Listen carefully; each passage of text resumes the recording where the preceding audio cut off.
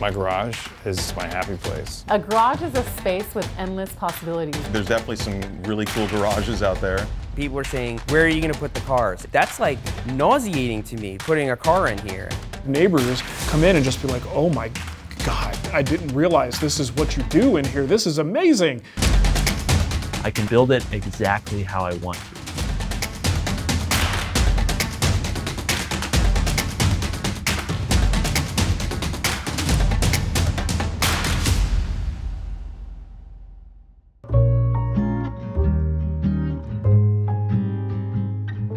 Artists are drawn to unique spaces. What's cool about this space is that it could be your typical garage. We could park cars in here, we could park our tractors in here, but we use it as a studio space, we use it as a creative space. People come down here that are working with our horses and they kind of expect us to be the barn for the animals, and it's not, it's, it's me.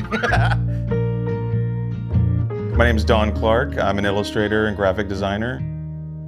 We're out here near Seattle in Maple Valley, and our company's called Invisible Creature. We wanted to choose a name that was pretty ambiguous. We didn't want to pigeonhole ourselves into like one type of design. We just wanted to be this thing that people didn't really know, you know, what it was. We wanted to have a mascot. We wanted to have just this creature, our one-eyed mummy mascot that we interpret in merchandise and toys and everything. I thought the barn could kind of be its own thing too. We put the barn on a lot of different things. Uh, We have it on shirts and on the back of product merchandise, and we have a, toy version of the barn. We use it almost like a little second mascot now, so it's become kind of synonymous with the name Invisible Creature. I wasn't planning on ever working in a barn. A barn studio was never something um, I thought about until we found this property. When we came and looked at the spot, there was no one out here, and you know, I just kind of walked down here. Everything's dusty and dark, and, and I walk up and I'm like, oh man, this space up here. When I saw it, I also thought friends and clients would dig coming out here just because it's so different. Clearly, it needed a ton of work, but I had the vision of like, okay, with some elbow grease, this can be a pretty special place.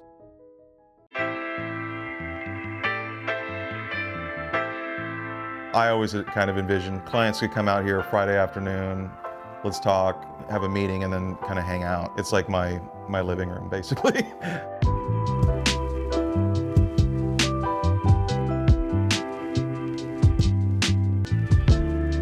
I wanted to keep the DNA of this old barn intact. I love the old wood, the patina of some of the material here in the barn, but mixing it with new material, we just basically put a new face on it. We put on a metal roof and added some commercial grade glass garage doors, modernized it with everything that a design studio would need. I wanted the light to be able to come in. When both garage doors are open, there's this kind of seamless transition between the outdoors and inside the space. I love the openers because they're off to the side, they're inconspicuous. The fact that I can push a button on my phone and let someone in when I'm not home is pretty awesome. We started this company in 2006. Basically, my brother and myself, we've been partners in music and art for as long as we can remember. We got our start in the music industry creating album packaging. Both of us were in bands. My brother still is in a band.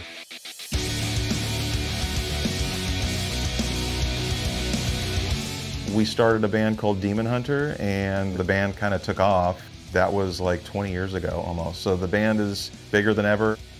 I left the band about 12 years ago. I'm a super fan of the band. I get to watch what he's doing now with it, and I could never keep up with the band now or the music they're putting out. It's just, it's so great. So he's pretty busy with that, but he's also a designer as well. And he lives a mile down the road. He has his own studio. We started doing a lot of silkscreen posters, which is a way for music fans to kind of have something that represented their favorite band or a moment in time or concert.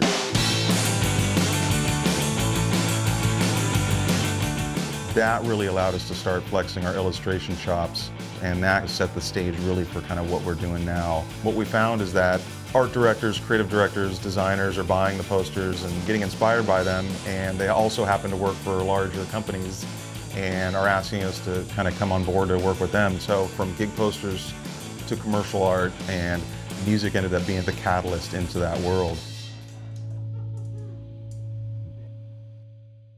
Something I'm always thinking about is art and making things. A space that represents that or cultivates that is special. In a way, I've kind of tried to make this space like a visual representation of what it looks like in my head. Just the stuff I love and kind of surrounding myself with that. Whether these are just like, you know, three-dimensional cartoons that are on your shelf or objects that make you smile, things that inspire me. Some people think nostalgia is a dirty word or, you know, um, I, it's my favorite word. One of my favorite words. You know, it's it captures a moment in, in your life when you felt safe. You had your whole life in front of you. These products that are, you know, in our office and things that I collect or the, the type of work I like to do, I hope brings you back to a time when things seemed brighter for whatever reason. I'm very inspired by the optimism of the post-war era, which is mid-century in America, specifically Southern California. Film, animation, illustration, music. That whole era was a very optimistic time. There was a lot of color and everything seemed to be brighter. I was born in the 70s, so I didn't experience that era. And I know it wasn't perfect, but when I look upon that era and the art that was coming out, it feels really magical. Our grandfather was an illustrator at NASA and was always a huge inspiration to us and was kind of proof positive that you could have a blue collar, nine to five punch the clock job as a designer and got paid to, to draw spaceships and planets and creatures. And we always thought that was super cool. I'm always kind of thinking about what is it that I love about art and how can I put my spin on it as Invisible Creature like our own products that we put in our shop. That's where our heart's at, the fun stuff that we like to create. Hopefully clients will take notice and call us to make some for them, and that happens a lot as well. I'm lucky enough to work on books. We sell our own line of shirts, hats, beanies, hoodies. We sell lots of posters and prints, and then of course toys. I'm an illustrator, I draw pictures. I don't produce hard goods, but we know a lot of super talented people that know what they're doing and they can, you know, interpret our art into three-dimensional objects and whatever we dream up. I'm the one that sees all the orders come in and I see so many repeating names. I'm super grateful for those people because they're paying attention to what we're making and they're buying everything that comes in or, or most of it. And it's that repeat person that I'm thinking about too. Like, you know, are they gonna dig this? Is this gonna make sense? Every person that buys something from our store, I'm really appreciative that they took a chunk out of their paycheck and bought a toy or a shirt or a hat. I'm thankful for what I get to do and it's never lost on me how lucky I have it that I get to work in a barn and, and draw pictures every day is pr pretty great.